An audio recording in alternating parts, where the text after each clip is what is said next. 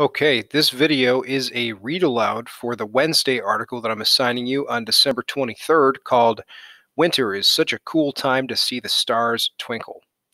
There are a couple words to know for this article before we dive in, so let's take a look at these first.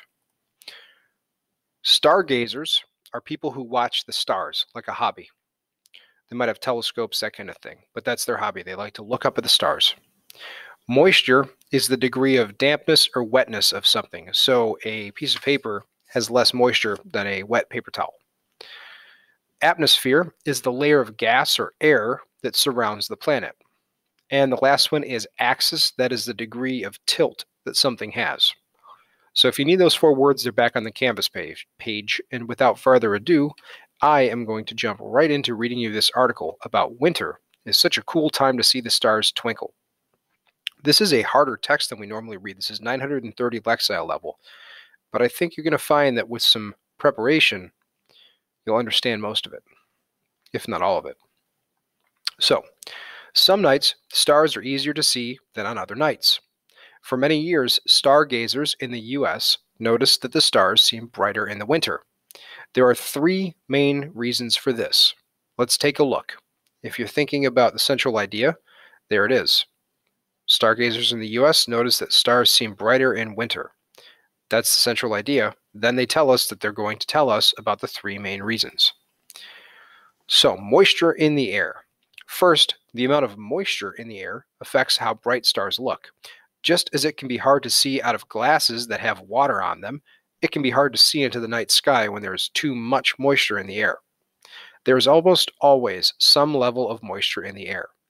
Tiny amounts of water in the air, called water particles, can make the sky look hazy, blurry, or out of focus. There tend to be a lot more water particles in the air during the warmer months.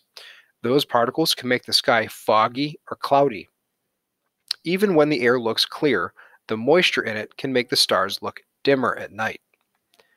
Diane Turnshek is an astronomer, which is the scientist who studies the planets, stars, and space and she works at Carnegie Mellon University in Pennsylvania.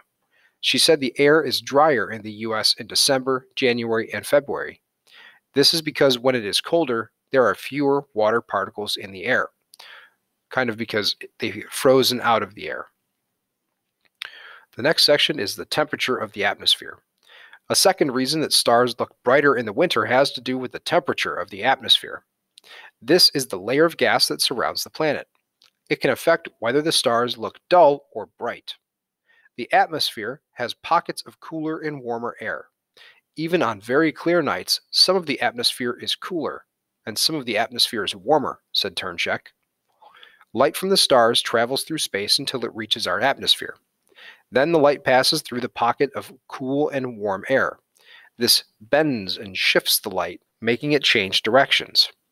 This process is known as refraction. So that's the bending and shifting of light as it moves through air, kind of like moving through a magnifying glass. In the case of stars, refraction is what makes them appear to dance or twinkle. A third reason it's easier to see stars in winter has to do with the position of the planet. The Earth's axis is like an imaginary line that runs through the center of the Earth from top to bottom. The Earth spins around this axis, in the winter, the northern hemisphere where the U.S. is located is tilted on the Earth's axis in such a way that there are more bright stars available or visible. Wow, I totally misread that word, huh? Finding famous constellations. Winter is the best time to see the constellation Orion. A constellation is a group of stars that forms a shape in the sky. The easiest way to find Orion in the sky is to find three very bright stars that make up a straight line. Their line is known as Orion's Belt. The Orion constellation also has two of the brightest stars in the winter sky named Betelgeuse and Rigel. Once you find Orion's Belt, you can follow it down towards the horizon or the line where the surface of the Earth looks like it meets the sky. There you'll see another famous star called Sirius, which is the brightest star visible in the, in the night sky.